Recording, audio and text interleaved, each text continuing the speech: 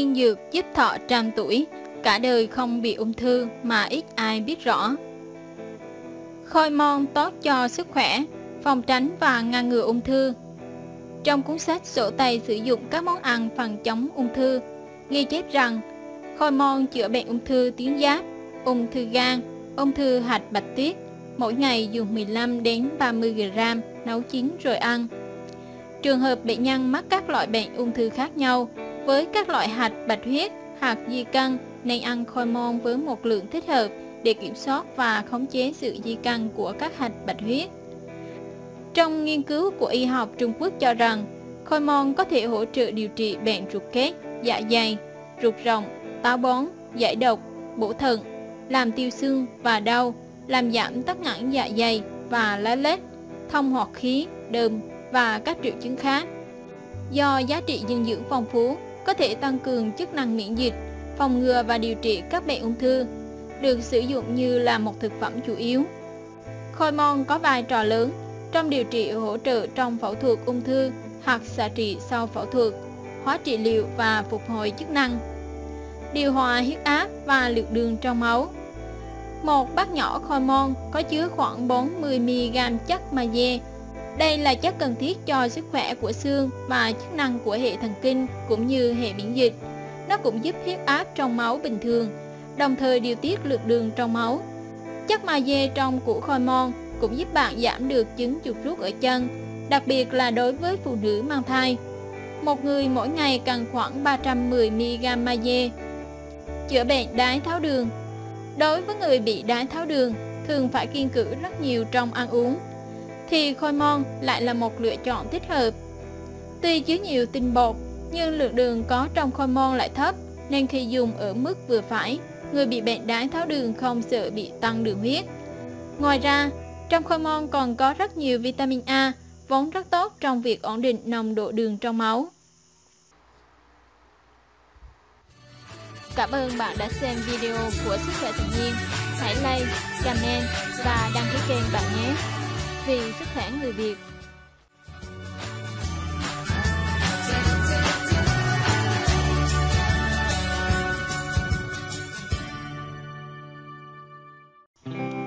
Chỉ với vài lọ lót cây trong vườn nhà, bạn đã có thể tự chế ra bài thuốc đơn giản trị bệnh trĩ hiệu quả mà không cần uống thuốc. Theo Đông y, việc các bưu trĩ hình thành là do khí huyết ứ trệ, nghĩa là máu từ tim theo động mạch đi đến nuôi các mô vùng hậu môn và tiếp tục theo tĩnh mạch trở lại về tim.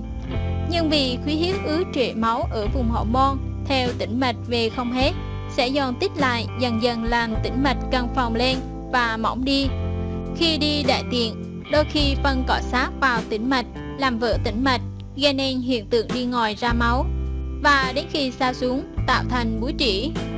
Nếu chỉ phẫu thuật cắt búi trĩ thì mới chỉ giải quyết được phần ngọn và không sớm thì muộn, một thời gian sau bệnh trĩ sẽ lại tái phát. Trong gian gian, có rất nhiều cách điều trị bệnh trĩ bằng thảo dược dễ kiếm, không qua phẫu thuật, giúp điều trị tận gốc nguyên nhân của bệnh trĩ. Nhờ đó, khi đã chữa khỏi thì bệnh sẽ không còn tái phát. Bạn có thể tham khảo những cách điều trị bệnh trĩ dưới đây. Chữa bệnh trĩ bằng lá thiên lý có thể nói, cây thiên lý là một loại thực vật dễ trồng, dễ chăm sóc trong vườn nhà bạn. Trong đông y, chọn loại cây này là cách để trị bệnh trĩ dân gian hiệu quả. Cây thiên lý có tác dụng giải nhiệt bên trong cơ thể khi bị búi trĩ nội, chảy máu, rác hậu môn. Cách chữa trị Dùng lá thiên lý còn non khoảng 100g đã rửa sạch, muối ăn chừng 5g, một muỗng cà phê, giả lá với muối, thêm vào 30ml nước đun sôi để ấm, rồi lọc qua màng vải hai gạt, đã tẩy trùng. Dùng hỗn hợp thấm vào bông tẩm thành bông băng, đắp bông băng lên chỗ búi trị lòi. Ngày làm khoảng một lần đến hai lần, kết hợp uống với nước lá thiên lý tươi khoảng 3 đến 4 bát một ngày. Chữa bệnh Chữa bệnh trĩ bằng rau diếp cá Loại rau này không khó tìm, có thể kết hợp trong mỗi bữa ăn.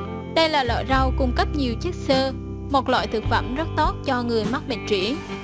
Tuy nhiên, người mắc bệnh cần phải kiên trì ăn rau diếp cá sống hàng ngày, với số lượng nhiều mới có hiệu quả và khỏi bệnh được. Sau khi rửa rau thật sạch, tốt nhất nên ngâm với muối khoảng 5 phút để rau nước rồi ăn sống kèm với các món ăn trong ngày. Ngoài ra, có thể nấu lá diếp cá. Khi nước còn nóng, ấm, dùng để ngâm, rửa hay xong cho người bệnh. Dùng bã còn lại đắp lên chỗ búi trĩ cho bệnh nhân. Bệnh trĩ sẽ khỏi hẳn nếu người bệnh kiên trì dùng rau diếp cá như một bài thuốc hữu hiệu trị bệnh trĩ từ dân gian này.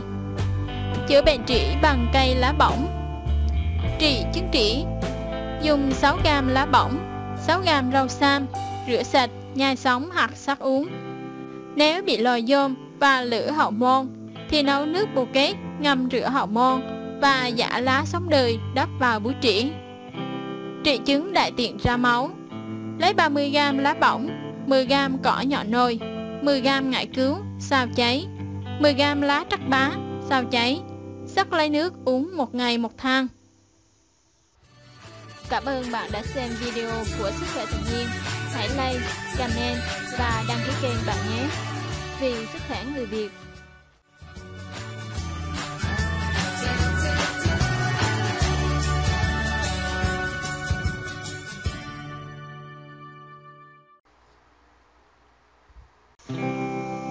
Hại đáng sợ của rau má mà bạn chưa hề biết Rau má quả thực có rất nhiều lợi ích cho sức khỏe nhưng nếu không sử dụng đúng hoặc quá lạm dụng cũng đem lại những hậu quả vô cùng đáng sợ cho sức khỏe. Rau má vốn được coi là thực phẩm lành tính nên được sử dụng trong việc chế biến thức ăn và nước uống giải khát rất phổ biến. Hơn nữa, loại rau này chưa được trồng phổ biến, vẫn còn là rau mập hoang nên nhiều người cho rằng chúng rất an toàn khi sử dụng. Rau má quả thực có rất nhiều lợi ích cho sức khỏe, nhưng nếu không sử dụng đúng hoặc quá lạm dụng cũng đem lại những hậu quả vô cùng đáng sợ cho sức khỏe. 1. Lợi ích của rau má Rau má không chỉ bổ dưỡng mà còn có nhiều dược tính. Ngay từ xa xưa, người dân đã biết sử dụng loại rau này như một vị thuốc chữa bệnh. Theo đông y, rau má có vị đắng, tính mát, tác dụng giải nhiệt, giải độc, sữa mụn nhọt, vàng da, vàng mắt, sót, lên sưởi. Loại rau này còn được dùng để hạ huyết áp, giúp lưu thông máu, nhất là ở những vùng tĩnh mạch và mau mạch. Rau má còn có tác dụng lợi tiểu nhẹ. Các Thái Lan ngày xưa dùng rau má để chữa các bệnh như vảy nén, eczema, nhiễm trùng đường hô hấp, mệt mỏi, sốt, cảm lạnh, viêm gan, động kinh và cả bệnh giang mai. Theo y học hiện đại, rau má có thể sử dụng để chống lại sự lão hóa của da, thúc đẩy quá trình tái tạo tế bào da. Vì vậy, có thể dùng chiết xuất của loại rau này trong những ứng dụng làm đẹp. Ngoài ra, rau má còn có thể dùng để chống loét dạ dày, kháng virus, kháng nấm. Thừa kế những nghiên cứu của y học cổ truyền, ngày nay người ta nhận thấy rau má có thể sử dụng làm giảm xương giúp lưu thông máu trong cơ thể, dùng để điều trị rất tốt trong các bệnh giãn tĩnh mạch, suy tĩnh mạch. 2. Tác hại khi lạm dụng rau má Rau má tuy là thực phẩm lành tính nhưng cũng có dược tính cao, vì thế không thể lạm dụng khi sử dụng. Nếu dùng nhiều rau má sẽ dẫn đến hậu quả xấu sau đây. Ảnh hưởng đến tiêu hóa Rau má có tính hàn, có thể gây lạnh bụng, tiêu chảy nhẹ. Rau má thường được uống sống, nên quá trình chế biến nếu không đảm bảo vệ sinh cũng có thể gây rối loạn tiêu hóa cho người dùng. Giảm khả năng mang thai và tăng nguy cơ sảy thai. Phụ nữ nếu dùng rau má lâu ngày có thể làm giảm khả năng mang thai. Loại rau này cũng gây nguy cơ sảy thai nếu sử dụng trong thai kỳ. Vì thế, phụ nữ đang trong thời kỳ sinh nở và phụ nữ có thai không nên dùng nhiều loại rau này. Làm tăng cholesterol và lượng đường trong máu. Rau má làm tăng lượng cholesterol và lượng đường trong máu. Vì vậy, những người có cholesterol cao và bệnh tiểu đường nên tránh lạm dụng sử dụng rau má quá nhiều. Không chỉ vậy, đối với người đang có hai bệnh trên, dùng rau má cùng với uống thuốc điều trị có thể làm giảm hiệu quả của insulin và thuốc tiểu đường uống khác, cũng như các thuốc hạ cholesterol. 3.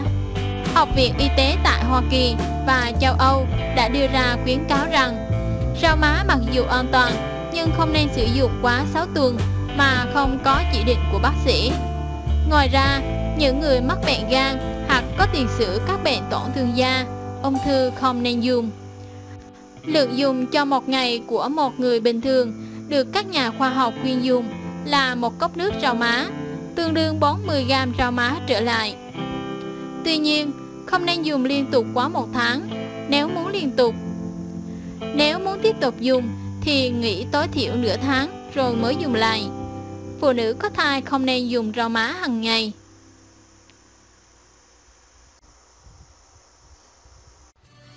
Cảm ơn bạn đã xem video của Sức khỏe tự nhiên.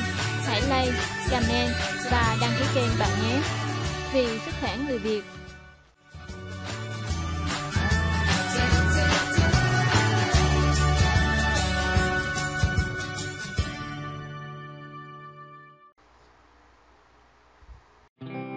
Một số bài thuốc trị thủy đậu Thủy đậu là loại bệnh truyền nhiễm, hay gặp vào mùa đông, xuân. Trẻ em từ 1 đến 5 tuổi hay mắc, với chứng trạng chủ yếu là một trong những nút võng. Y học cổ truyền có nhiều bài thuốc chữa bệnh này rất hiệu quả, xin giới thiệu để bạn đọc tham khảo, áp dụng khi cần thiết.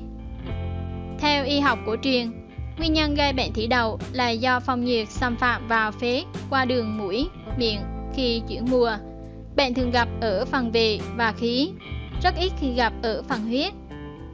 Trẻ lúc đầu có biểu hiện hắt hơi, sổ mũi nhức đầu, rối loạn tiêu hóa. Vài ngày sau xuất hiện những nốt đỏ nổi sau lưng, sau đó lan ra khắp người. Chính giữa các nốt đỏ có một bọng nước, gọi là bào chuẩn. Sau 3 đến 4 ngày thì khô đi và bong ra. Nốt này mọc, nốt kia bay. Nếu bị nặng, có thể gây nhiễm trùng da, nhiễm trùng huyết làm viêm phổi, viêm não, viêm tiểu não. Nguy hiểm đến tính mạng. Sau đây là một số bài thuốc trị theo từng giai đoạn. Khi tà độc xuất hiện ở về, loại nhẹ, các nốt thị đậu mọc rải rác, xung quanh màu hồng nhạt, có nốt nhẹ hoặc không sót, ho ít, nước mũi loãng trong. Phép điều trị, sơ phong thanh nhiệt.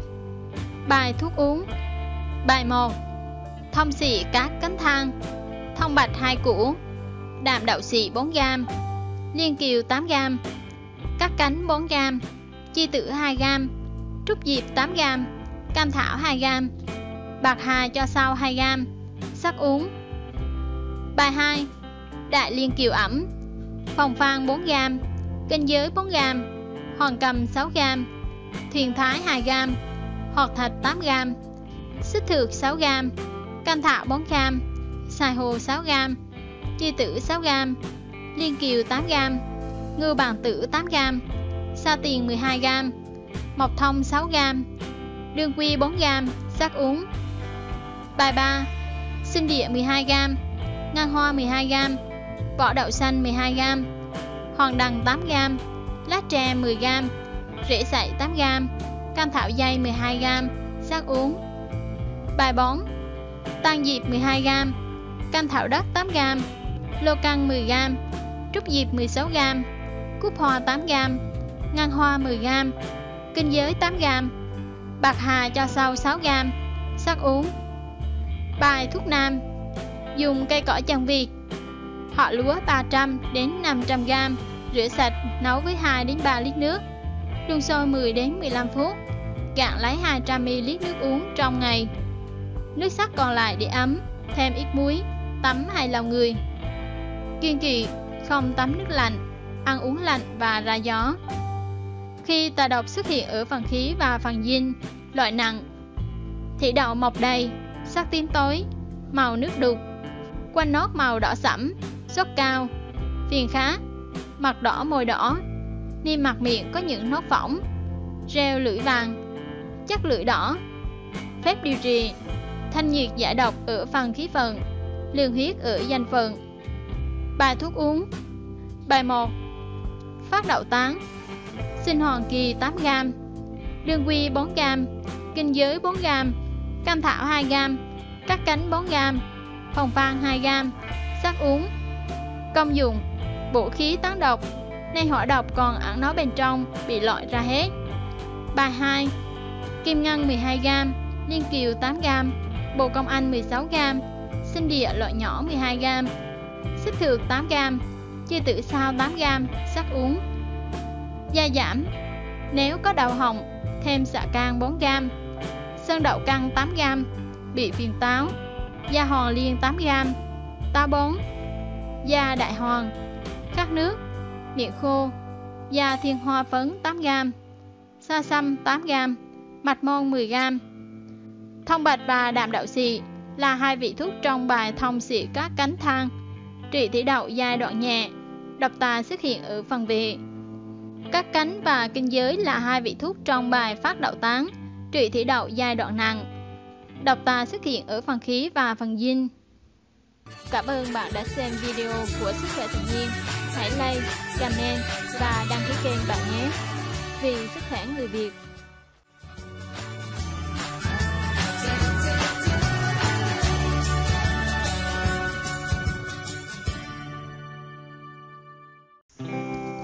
Cỏ màng trầu trị huyết áp cao Đông y cho rằng cây cỏ màng trầu có vị ngọt nhạt, hơi đắng, tính mát, không độc, có tác dụng lương huyết, thanh nhiệt, tiêu viêm, cầm máu, tan ứ, mát gan, giải độc, lợi tiểu, hạ áp. Cỏ màng trầu hay màng trầu, tên khác là ngưu căn thảo, thanh tam thảo, chỉ cỏ tía, cỏ giáng, cỏ bắc, cỏ vườn trầu, cỏ màng trầu. Đông y cho rằng Cây có vị ngọt nhạt hơi đắng, tính mát, không độc, có tác dụng lương huyết, thanh nhiệt, tiêu viêm, trừ thấp, cầm máu, tan ứ, mắc gan, giải độc, lợi tiểu, hạ áp, hạ sốt và sốt rét. Phối hợp với nhân trần làm nước giải khát mùa hè. Có công dụng trị cao huyết áp, lò phổi, ho khan, sốt âm ỉ về chiều, lao lực mệt nhọc, tiểu tiện vàng và ít mọt còn dùng cho phụ nữ có thai, hỏa nhiệt, táo bón, buồn phiền, động thai, nhức đầu, nôn mửa, tức ngực, sốt nóng. Cũng dùng uống trị mụn nhọt, có chứng nhiệt độc, trẻ em tư lưỡi. Hiện nay, cỏ màng trầu còn được xếp vào nhóm những cây thuốc quý có tác dụng chữa ung thư đang được nghiên cứu. Dưới đây là một số cách trị bệnh từ cỏ màng trầu.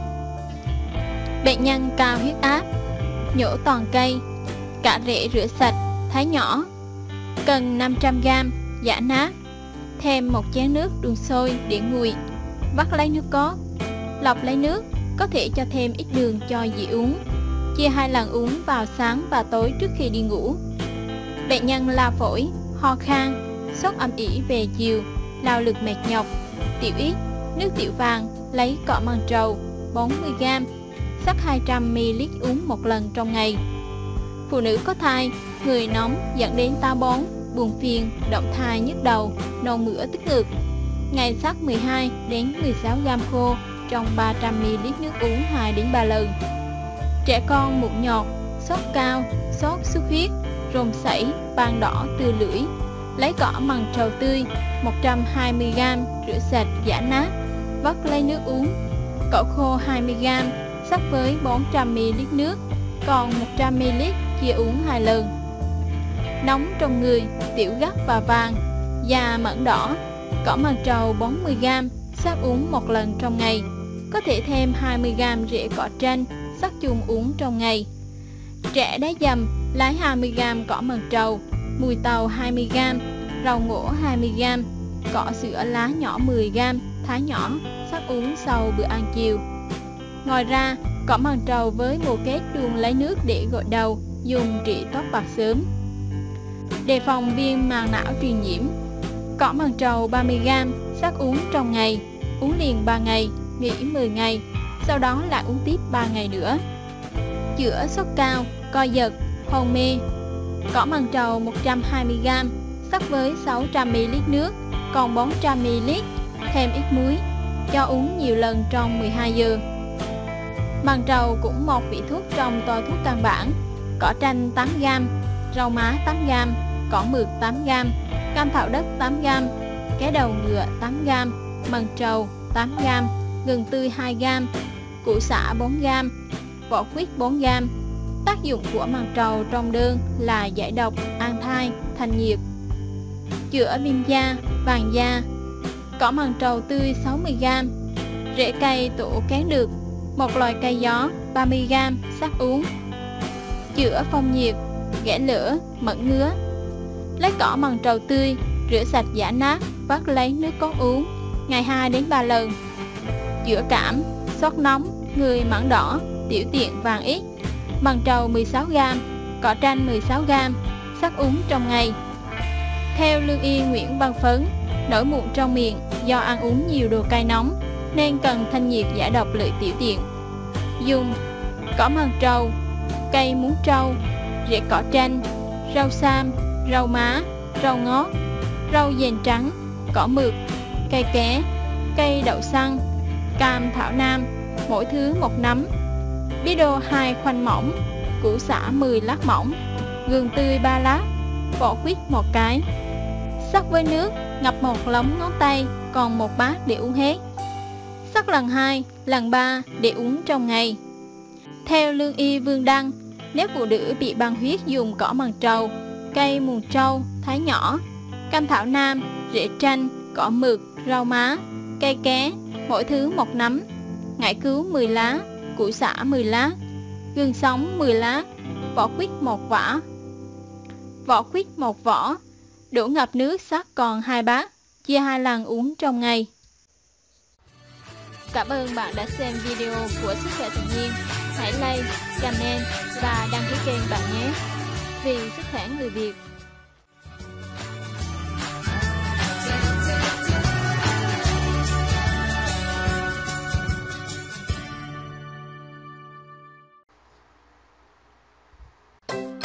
Bị những bệnh này, đừng mua thuốc tây, không cần tới bác sĩ mà hãy dùng quả khế là khỏi. Quả khế, thần dược cho sức khỏe mà ít ai biết để đảm bảo cơ thể luôn khỏe mạnh. Quả khế chứa một tác nhân khoáng khuẩn, có thể chiến đấu với các loại khuẩn như Microbia, Bacillus cereus, E. coli, Salmonella typhus. Mỗi quả khế trung bình chỉ chứa khoảng 30 calo, nhưng lại chứa rất nhiều chất xơ, vitamin C, chất chống oxy hóa và flavonoid. Do đó, khế là một loại quả lý tưởng cho những ai muốn giảm cân mà vẫn đảm bảo chất dinh dưỡng, lại có làn da đẹp mịn màng trẻ trung, tránh táo bón. Lợi ích từ khế Chất xơ tự nhiên Khi ăn khế, hệ thống tiêu hóa của bạn sẽ được cải thiện nhờ thành phần chất xơ tự nhiên có trong loại quả này, giúp ngăn ngừa táo bón. Chất xơ trong khế cũng giúp duy trì trọng lượng lý tưởng, ngăn chặn sự hấp thu cholesterol từ thức ăn ở ruột, ngăn ngừa ung thư ruột kết. Vì chất xơ có lợi bảo vệ màng nhầy trong ruột già và quét đi các chất độc hại. Ngoài ra, chất xơ hòa tan trong quả khế còn có khả năng phòng chống ung thư, hỗ trợ tiêu hóa, giảm lượng đường huyết, ngừa bệnh tim mạch. Chúng ta có thể ăn trực tiếp hoặc chế biến thành món canh chua. Chứa các chất pectin.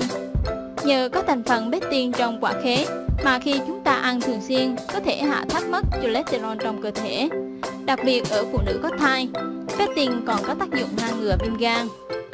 Vitamin C trong khế có thể đẩy độc tố ngoài ra và giúp tổng hợp collagen.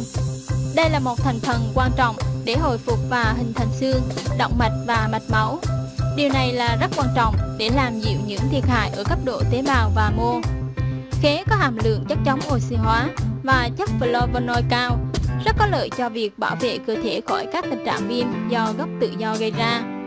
Vitamin C đóng vai trò như một chất chống oxy hóa tự nhiên, có lợi cho cơ thể, làm tăng miễn dịch của cơ thể trong việc ngăn chặn sự tấn công của các loại vi khuẩn và virus gây bệnh.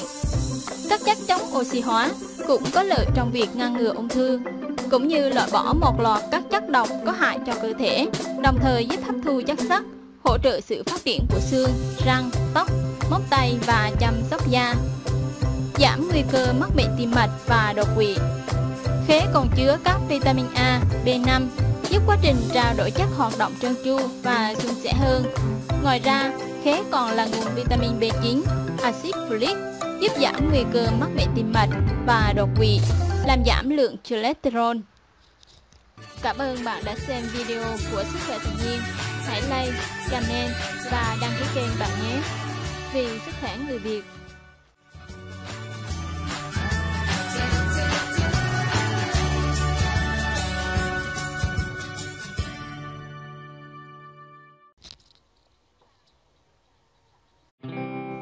Khi nhìn thấy dấu hiệu này của dưa hấu mà bạn ăn bạn có thể loạn thần kinh hoặc u ác tính. Dưa hấu là thứ trái cây cả nhà em đều mê vào mỗi mùa hè. Đặc biệt, mẹ em thích món này và là siêu cao thủ chọn dưa. Mẹ em chọn quả dưa nào cũng đều đỏ ruột, nhiều nước và ngọt lắm luôn. Hôm vừa rồi em đi chợ một mình, thế là tự mua một quả dưa hấu về cho cả nhà. Em hăm hở lấy dao bổ dưa để mời cả nhà thưởng thức.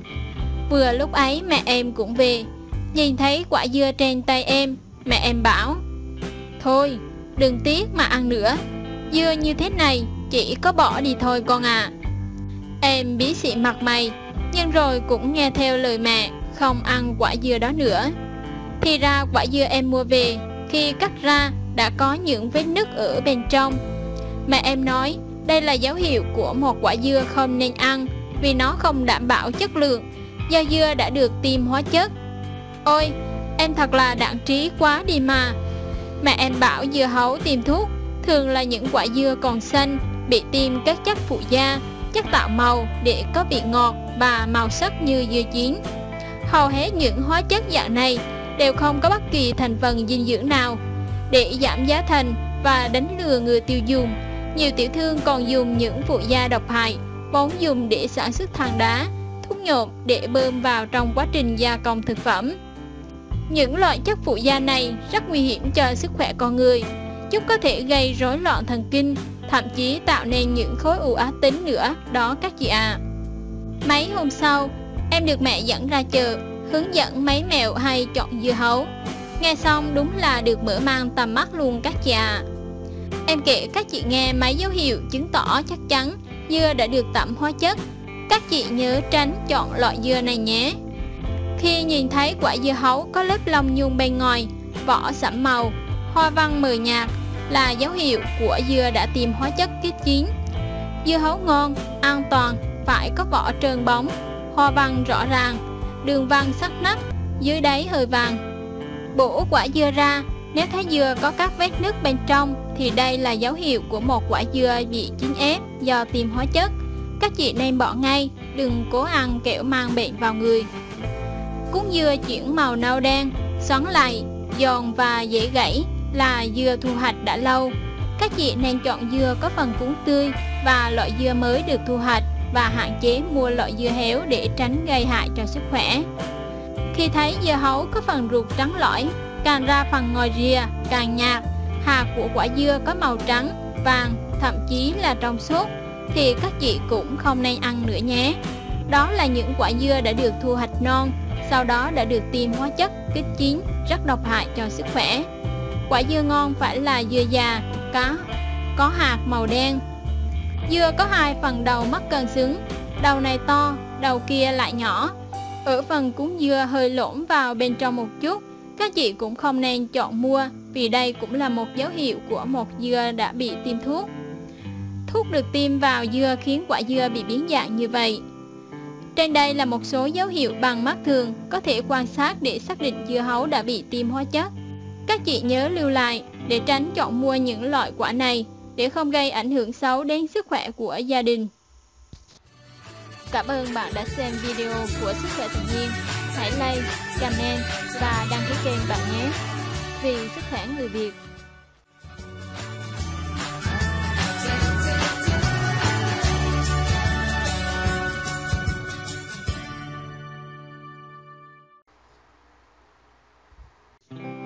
Ai bị gai cọt sống thì không nên bỏ qua bài thuốc cực đơn giản này.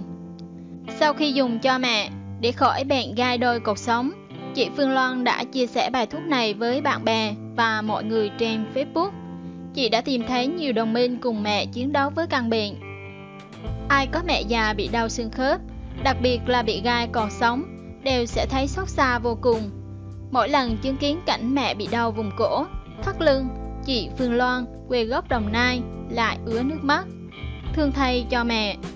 Chỉ có điều, mẹ chị nhất mực không chịu đến bệnh viện. Bà cứ gàn con bà bảo, mẹ sống chung với lũ cả 20 năm nay rồi, giờ đi khám làm gì cho phí tiền. Nhưng đấy là khi bà mới 70 tuổi, còn đi lại túc tắc được và thời tiết lúc đó ở miền Nam không quá khắc nghiệt. Sau đó, bà đã cùng cả gia đình chị Loan ra Hà Nội sinh sống nên càng cảm nhận rõ rệt những cơn đau do căn bệnh này đem lại. Nhớ lại khoảng thời gian hải hùng ấy, chị Loan chưa hết rùng mình. Tôi thương mẹ tôi lắm, bệnh gai cuộc sống của bà khi ấy đã trở nặng đến mức suốt ngày đau tê ở cổ, rồi lan qua hai tay, đau dọc sống lưng xuống hai chân. Tôi có massage đấm bốt hay cho bà uống thuốc giảm đau cũng không ăn thua. Đêm đến, bà không dám làm phiền con cháu nên cứ rì rì khóc. Khi thời tiết ổn định thì mẹ tôi túc tắc đi khắp nhà. Vui vẻ vì đỡ mệt, nhưng chỉ vài ngày sau, mức độ đau sẽ tăng lên gấp đôi.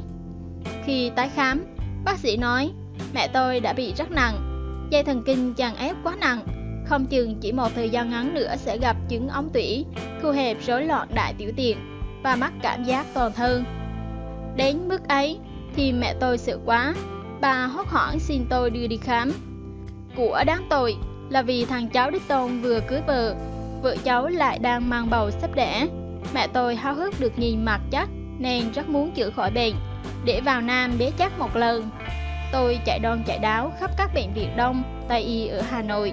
Nhưng Tây Y thì không tác động vì mẹ tôi đã cao tuổi, còn Đông Y kể cả chăm cứu cũng rất lâu khỏi. Buồn chán, tôi than thở với bạn bè qua điện thoại và đăng lên cả Facebook kêu la để đỡ stress. May thay cậu bạn cấp 3 khi đọc được chia sẻ của tôi đã nhắn một tin nhắn đáng giá ngàn vàng. Mình sẽ mách cho mẹ cậu cách chữa bệnh bằng ba loại thảo dược đơn giản, chanh, bưởi và ngải cứu. Chờ mình đi công tác về rồi sẽ tặng nhà chỉ cho bà nhé, hai ngày nữa thôi. Mừng như trúng số độc đắc, tôi khoe ngay với mẹ. Hai ngày sau, cậu bạn tôi đến nhà và chỉ cho một bài thuốc vô cùng dễ làm và dễ dùng.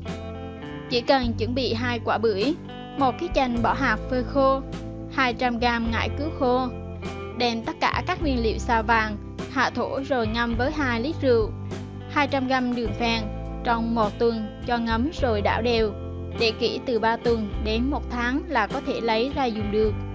Uống thuốc hàng ngày, mỗi lần uống một chén nhỏ khoảng 5 đến 10 ml sau ăn. Thời gian đầu dùng thuốc, người bệnh sẽ đau đớn vì công thuốc, nhưng chỉ cần cố gắng chịu đựng thì từ ngày thứ bảy trở đi sẽ thấy cảm giác em ru. Tôi vội vã mua đầy đủ nguyên liệu trên và ngâm rượu cho mẹ dùng. Đúng như lời cậu bạn tôi nói, sau 7 ngày, mẹ tôi như tìm lại được niềm vui sống. Bà ăn ngon miệng hơn, đi lại dễ dàng và ngủ gần 5 tiếng liên tục mà không đau e ẩm mình mẩy như trước nữa. Tôi mừng lắm, dục mẹ uống đều trong một tháng liền. Sau đó, tôi gọi điện nhờ cậu bạn tư vấn xem nên uống tiếp thế nào. Cậu ấy cũng vui lây và bảo, mẹ cậu bị đã lâu nên để bà uống đều đặn trong vòng 2 đến 3 tháng. Sau đó nửa năm thì uống lại liên tục trong một tháng. Cách năm sau, mỗi năm uống một lần liên tục trong một tháng là được. Mẹ tôi đã chữa khỏi gai cột sống đơn giản, chỉ bằng bài thuốc đó đấy. Tôi háo hức chia sẻ bài thuốc hữu dụng này cho bạn bè, họ hàng gần xa. Nhờ thế mà mẹ tôi đã có thêm nhiều đồng minh nữa trong cuộc chiến chống lại căn bệnh đáng ghét này. Và thật tuyệt vời, ngay sau liệu trình đầu tiên, mẹ tôi đã đủ sức khỏe để bay vào Nam, chăm chắc mới chào đời. Bà vui mừng lắm. Qua tìm hiểu, tôi được biết, trong dân gian có nhiều cách chữa gai cột sống, tận dụng những thảo dược dễ kiếm không có tác dụng phụ, nhưng thực tế áp dụng lại rất hiệu quả. Trong bài thuốc kết hợp từ các thành phần trên cũng rất có lý. Bự bưởi có những phytochemuca ngăn ngừa chất protanladin làm viêm khớp xương. Theo đông y, muối bưởi có vị ngọt, chua, tính hàn, có tác dụng kiên tỵ, giảm ho, tan đờm, chữa rối loạn tiêu hóa, đau đầy bụng, khó tiêu, đau khớp. Vỏ bưởi tính ấm, vị đắng, ngọt, có tác dụng tan đờm, giảm ho, điều hòa khí huyết, giảm đau. Ngải cứu thì tính ấm, có vị cay, có tác dụng ôn hòa khí huyết, hay được dùng chữa các bệnh đau đầu hoa mắt, nhức bút xương khớp, đau thần kinh tọa. Chanh có chức năng giải độc, bảo vệ thành mạch, tăng cường hệ miễn dịch và hạn chế tác hại của những gốc tự do để làm chậm sự lão hóa, từ đó tăng cường khả năng tự chữa gai cột sống. Theo đông y, lá, rễ và vỏ quả chanh có vị the, đắng, mùi thơm, tính bình, có tác dụng tán phan giải nhiệt, hoặc huyết, thông kinh lạc, tiêu đờm, tiêu thực, giảm ho, sơ tiết càng khí. Cây chanh thuộc nhóm 54 cây thuốc, có giá trị dược liệu cao nhất trong danh mục hơn 7.300 loại thực vật, được tổ chức Plan for a Future ở Anh Quốc phân loại và xếp hạng căn cứ vào giá trị dinh dưỡng cũng như dược liệu. Theo bác sĩ Hoàng Khánh Toàn, trưởng khoa y học cổ truyền, Bệnh viện Trung ương Quân đội 108, các vị thuốc trong bài đều có tính ấm, lại được ngâm trong rượu đế cũng có vị cay. Tính nhiệt nên rất phù hợp chữa gai còn sống. Thêm nữa, vỏ bưởi và quả chanh đều có công năng hành khí nên có tác dụng chỉ thống giảm đau. Theo y học cổ truyền, thống đau là do bất thông, ứ trệ, tắc ngẳng. Các vị thuốc có công năng làm cho kinh mạch thông suốt, khí huyết lưu chuyển bình thường thì chứng đau thuyên giảm, chữa thái hóa cột sống. Mong là mọi người khi áp dụng bài thuốc này đều sẽ thành công và vui vẻ sống khỏe như mẹ tôi nhé. Cảm ơn bạn đã xem video của Sức khỏe tự nhiên. Hãy like, comment và đăng ký kênh bạn nhé. Vì sức khỏe người Việt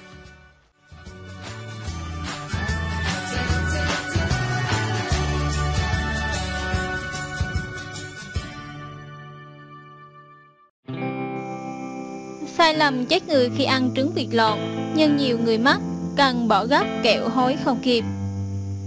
Nhiều người nghĩ rằng thực phẩm bổ dưỡng càng ăn sẽ càng có lợi cho sức khỏe. Thế nhưng, thực sự thì bất cứ cái gì cũng vậy, nếu lạm dụng nó sẽ gây tác dụng ngược.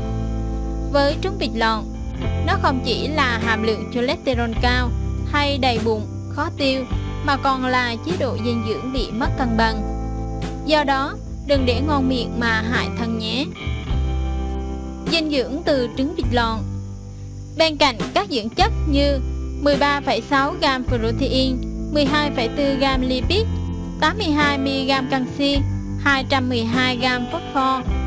Một quả trứng vịt lòn còn chứa tới 600mg cholesterol, cao gần gấp 3 lần một quả trứng gà.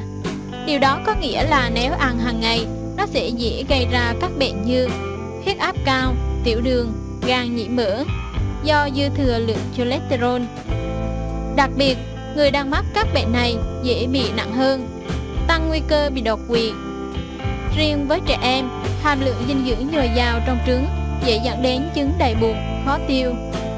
Trẻ dưới 5 tuổi càng khó tiêu hơn nữa. Việc này dẫn đến trẻ biết ăn do lúc nào bụng cũng ở trong trạng thái lưng lưỡng. Cũng vì những lý do trên Tiến sĩ Mai khuyên rằng, với người trưởng thành, một tuần cũng chỉ nên ăn hai quả, còn với trẻ từ 5 tuổi trở lên cũng chỉ nên ăn 1 phần 2 quả mỗi lần, mỗi tuần từ 1 đến 2 lần là đủ. Dễ thừa vitamin A Việc hạn chế ăn trứng vịt lộn không chỉ bởi nó có hàm lượng cholesterol cao mà còn vì chế độ dinh dưỡng của chúng ta cần phải phong phú với các loại thực phẩm. Nếu không, dễ dẫn đến mất cân bằng dinh dưỡng Ngoài ra, tiến sĩ Mai cũng cho rằng trong trứng vịt lộn có khá nhiều vitamin A nên nếu ăn thường xuyên dễ dẫn đến thừa loại vitamin này với các biểu hiện như mệt mỏi, đau đầu, khô da. Bên cạnh lưu ý trên, theo tiến sĩ Mai, chúng ta cũng không nên ăn trứng vịt lộn vào buổi tối vì nó dễ gây cảm giác ấm ếch, khó ngủ. Do đó, loại trứng này chỉ thích hợp ăn vào buổi sáng khi ăn, bạn nhớ ăn kèm thêm rau răm với gừng. Gừng sẽ giúp kích thích tiêu hóa, còn rau răm thì làm ấm bụng. Tuy nhiên, nếu đang mang thai ở 3 tháng đầu thì bạn nên hạn chế ăn rau răm vì nó có thể gây ra hiện tượng bong, sảy thai. Ăn như thế nào để có lợi cho sức khỏe? Nên ăn trứng vịt lộn vào buổi sáng, tránh ăn vào buổi tối vì hàm lượng dinh dưỡng trong đó cao. Do vậy, là món ăn khó tiêu nếu bạn ăn trứng vào buổi tối, khi đi ngủ sẽ bị khó chịu, đôi khi dẫn tới đầy hơi, không tiêu hóa được. Vì là món ăn rất bổ, giàu dinh dưỡng, nên việc ăn trứng vịt lộn mỗi ngày có thể làm tăng lượng cholesterol trong máu, là nguyên nhân gây ra các bệnh về tim mạch, huyết áp, đái thao đường. Mỗi người lớn khỏe mạnh, tốt nhất chỉ nên ăn hai trứng vịt lộn mỗi tuần. Những người bị tăng huyết áp tiểu đường, viêm gan, gan nhiễm mỡ, tim mạch, gút. Nên kiêng hoặc không ăn nhiều trứng vịt lộn, tránh tắc nghẽn động mạch, tăng nguy cơ nhồi máu cơ tim và đột quỵ. Phụ nữ có thai ăn trứng vịt lộn không nên dùng với rau răm vì dễ gây chảy máu, sảy thai. Khi ăn trứng vịt lộn thường kèm với rau răm và gừng. Bởi theo đông y, rau răm có vị cay nồng, mùi thơm hắc, tính ấm, tác dụng ấm bụng, chống đầy hơi, sát trùng, tán hàng. Rau răm còn có tác dụng làm sáng mắt, ích trí, mạnh gan có, tránh lạnh bụng, say nắng. Do vậy, điều mà ai cũng thấy đó chính là rau răm sẽ giúp cho người ăn trứng vịt lộn không bị lạnh bụng, đầy hơi, tránh được các vấn đề về tiêu hóa. Ngoài ra, ăn kèm rau răm với trứng vịt lộn có khả năng giảm bớt ham muốn tình dục, đem tới sự cân bằng âm dương cho cơ thể. Gừng tươi có tác dụng kích thích tiêu hóa, mạch tim, giải độc thức ăn, chống suy giảm tình dục. Dùng ăn để kích thích tiêu hóa, chữa dạ dày lạnh, đầy hơi đau bụng, kém ăn, co gân, chuột trước tiêu chảy. Cảm ơn bạn đã xem video của Sức khỏe tự nhiên. Hãy like, comment và đăng ký kênh bạn nhé. Vì sức khỏe người Việt.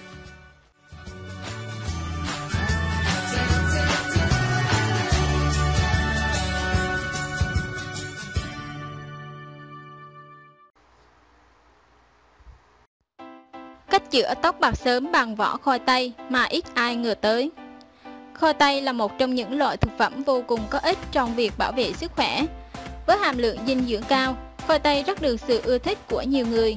Có rất nhiều người khi sử dụng khoai tây đều bỏ vỏ. Nhưng bạn có biết rằng vỏ loại này có khả năng giúp chữa tóc bạc sớm hay không? Qua bài viết này, chúng tôi sẽ chỉ cách chữa tóc bạc sớm bằng vỏ khoai tây. 1. Thành phần 250g vỏ khoai tây 500ml nước sạch Để có 250g vỏ, bạn cần chọn khoảng 5 củ khoai tây lớn. Để đảm bảo an toàn, không hóa chất, hãy mua chúng trong siêu thị. 2. Thực hiện Vỏ khoai tây sau khi rửa sạch đất cát, gột vỏ, cho tất cả vào nồi đã có sẵn lượng nước bên trong, đậy nắp, bắt lên bếp nấu sôi. Đừng tắt bếp vội nhé, khi nước sôi, hãy giảm lửa và nấu thêm 5 phút để các chất làm đen tóc trong vỏ khoai tây tiết ra rồi tắt bếp. Để nguội và lọc lấy nước cho vào chén. 3. Cách nhộn tóc bạc Lượng nước từ vỏ khoai tây thu được, bạn hãy dùng bàn chải cho vào trong chén. Chải đều từ chân tóc xuống ngọn. Đặc biệt, hãy lặp lại nhiều lần tại vị trí tóc bạc nhiều. Lượng nước thu được, bạn dùng bàn chải chấm nước này và chải đều từ chân tóc tới ngọn lặp lại nhiều lần tại các vị trí bị tóc mặt nhiều. Công thức này hoàn toàn an toàn, tự nhiên, vậy tại sao bạn không thử ngay hôm nay? Lưu ý, không xả lại với nước mà để khô tự nhiên. Trước khi thực hiện, hãy gội đầu thật sạch và khô tóc để công thức này phát huy công dụng hiệu quả. Tuy nhiên, để tốt nhất, bạn nên áp dụng 2 đến 3 lần mỗi tuần, duy trì liên tục cho đến khi nào bạn cảm thấy hài lòng nhất thì ngừng lại. Đây là phương pháp mà ít ai có thể nghĩ tới. Bạn có thể, nhưng mà chúng thật là diệu kỳ. Ngoài phương pháp này ra, còn rất nhiều phương pháp khác mà bạn cần biết, mà vô cùng hiệu quả. Bạn có thể tham khảo chúng tôi chia sẻ dưới đây nhé. Cảm ơn bạn đã xem video của Sức khỏe tự nhiên. Hãy like, comment và đăng ký kênh bạn nhé. Vì sức khỏe người Việt